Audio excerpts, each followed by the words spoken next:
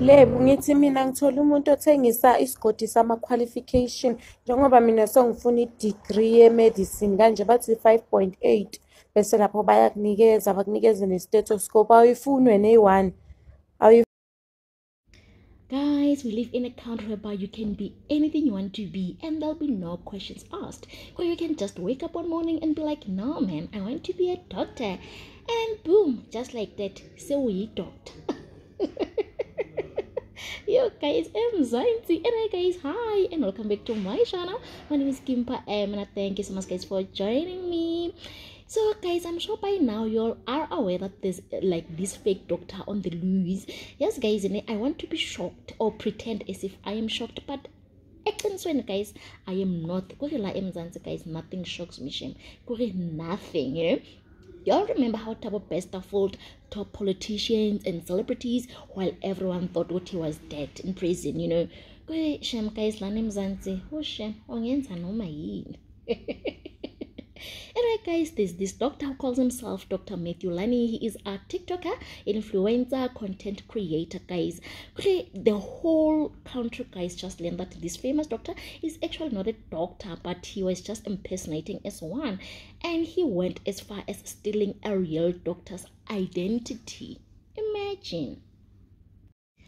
Guys, what shocks me about this fake doctor is that like he has been practicing at the government hospital, you know, the Helen Joseph Hospital, even though the hospital has denied that Matthew is employed there. But guys, man, let's think about it. You know, this guy works in a, in a hospital uh, with security guards, real doctors, and nurses on duty, and decides to walk down the corridors, like the corridors, like and wearing scrubs with that thing as in and the stethoscope in, in his neck, and no one questions, Gori, hi man ubani manje lo?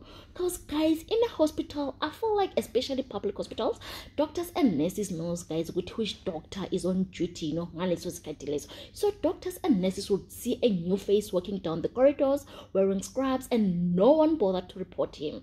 Because now the, ho the hospital denies that oh matthew was working there. I, guys now i personally don't believe them you know. I feel like this guy i don't know like he's pulling a bester on us.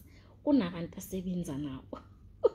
I mean guys they hired this guy without doing any background checks on him. And now obviously bazozama ukufihla ihlaziyo labo guys and also guys this um, matthew guy was on a radio 2000 just a few days ago unpacking the health implications on dangers of using snuff guys i mean guys like seriously even a huge radio station like radio 2000 failed to do a background check on him Hi Sham guys, we are led by lazy people in South Africa. Lazy people.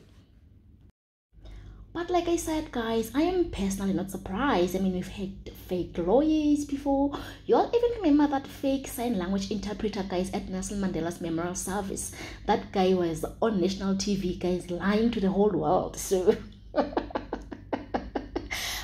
guys one thing about this uh, matthew guy that i'm failing to understand. Is the fact that he still continues with his lies even though esebanjiwe i mean the department of health has opened a criminal case against him Wits university distance itself from him since he claimed that he started medicine there. And the guy that he stole identity from has also came forward guys and opened a case of identity theft against him. You know but the good doctor is like oxalayo i am a doctor. You guys i shame. You know they should check his mental health shame. I think mentally i, I don't know. I feel like mm -mm. Intambo ayifiki kahle paraffinin guys because there's no way guys. I mean why continue like aqhubeka aqamba amanga even though esebanjiwe? Hmm, asazi guys. Anyway guys if you are following on this uh, matthew story comment it down below guys. Let us know what you all think about this whole situation. And guys uh, thank you so much for watching. I will see you on my next upload. Bye for now